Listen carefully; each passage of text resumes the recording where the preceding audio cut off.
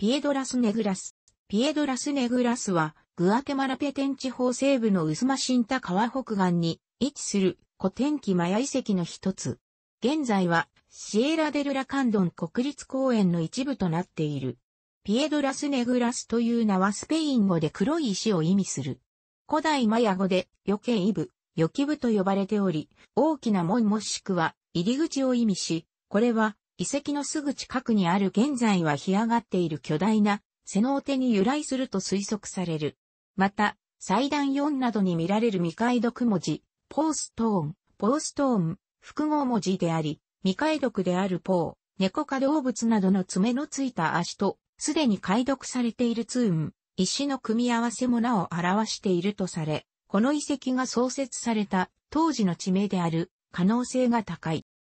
この遺跡は西グループ、東グループ、南グループに分けられる西と南のグループはそれぞれ球技場や広場を備える。アーチ状の屋根を持つ宮殿や神殿ピラミッドが立ち並び、それらの一つは遺跡内に数ある洞窟のうちの一つとつながっている。また、薄間新田川の川岸には、予期部の紋章文字が彫られた巨石がある。ピエドラスネグラスは、薄間新田川流域で一時は、最大の勢力を誇った王国の首都である。薄間新田川の 40km 上流には、ライバルであったヤシチランがあり、サンペドロマルティル川と薄間新田川に挟まれた地域には、ラオンラです。パハラルやサポテボバルなど、中小規模都市で構成された、ヒックスウィッツ、ジャガーの丘同盟が存在した。出土した土器から推測されるに、紀元前7世紀中頃から定住が始まり、紀元850年頃にはその他の古典機マヤ都市センターと同様に放棄された。王国が創始された時代は判明していないが、当初は小規模の都市であったとみられる。紀元450年頃からヤシチランの碑文において、ピエドラス・ネグラスの王が敗者として刻まれるなど、この時代には、すでに重要な都市センターになっていた。古典記前期の碑文は、わずかしか残されていないが、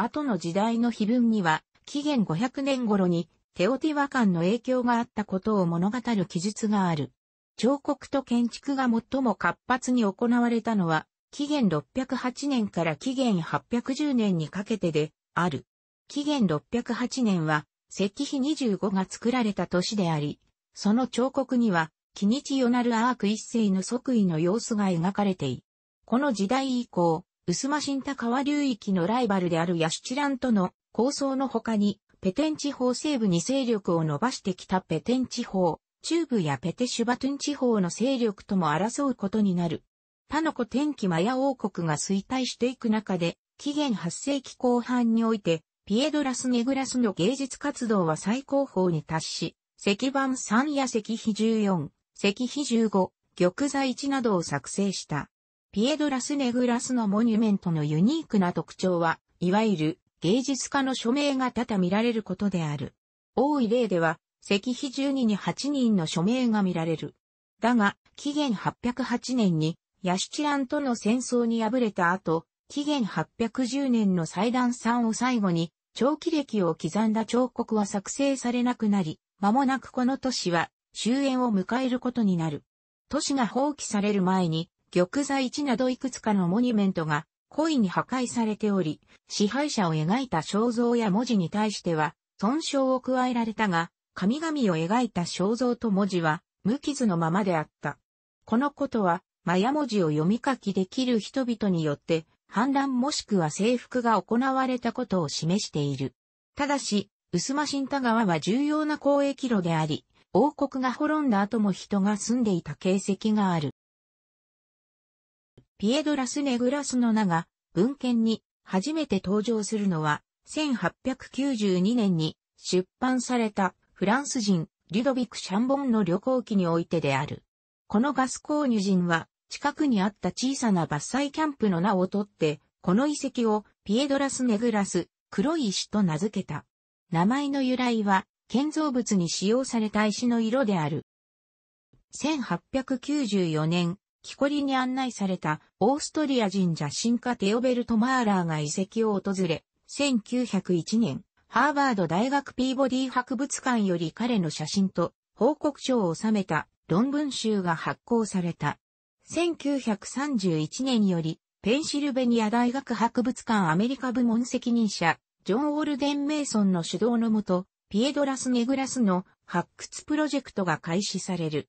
1932年、プロジェクトの責任者は、リントン・サタースウェイト・ジュニアに引き継がれ、彼のもとで1939年まで調査が行われた。ペンシルベニア大学は、フィラデルフィアにある博物館に展示するためのモニュメントを手に入れることを望み、大規模な発掘プロジェクトを計画した。ピエドラス・ネグラスがその対象に選ばれたのは、カーネギー研究所のシルベイナス・グリスボルド・モーリーと、アルフレッド・ V・ キダーの助言による。メイソンとサタースウェイトらによる調査は、一部を除いて、何ら結論を出せぬまま終了したが、発掘の過程で得た大量の重要な発見は研究者たちに提供され、カーネギー研究所によるチチェンイッツァやワシャクトゥンの調査などとともに、マヤ地域の考古学の発展に大いに貢献した。中でも特筆すべきは、タチアーナ・プロスクリアコフが、この発掘、プジェクトに復元図を作成する画家として参加したことである。建築学の知識を駆使して描かれたアクロポリスの円形や建造物の復元図は、現在でもピエドラス・ネグラスを扱う論文や出版物で目にることができる。この仕事を終えた後、彼女はカーネギー研究所に招かれ、コパンの発掘プロジェクトに画家として参加する。その後、画家としてではなく考古学者として研究に従事するようになった。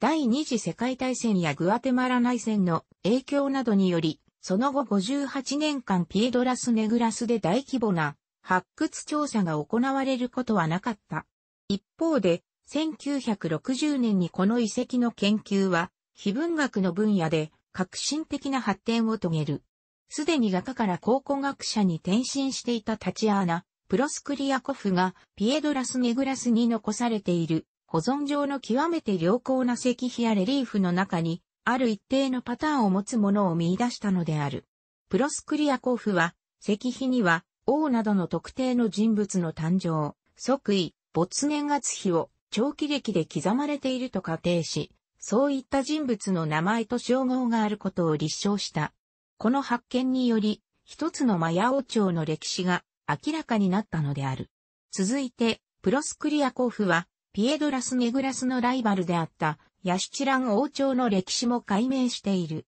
プロスクリアコフが1985年に亡くなった時、ピエドラス・ネグラスのアクロポリスの建造物 J-23 に埋葬された。グアテマラ内戦終結に伴い、グアテマラ考古学歴史研究所の許可が下り、1997年から2000年にかけて大規模な発掘調査が、ブリガムヤング大学のスティーブン・ハウストンと LA、ニーベルシダット・デル・バレイでグアテマーラのエクトル・エスコベドの指揮の下で実施された。楽しくご覧になりましたら、購読と良いです。クリックしてください。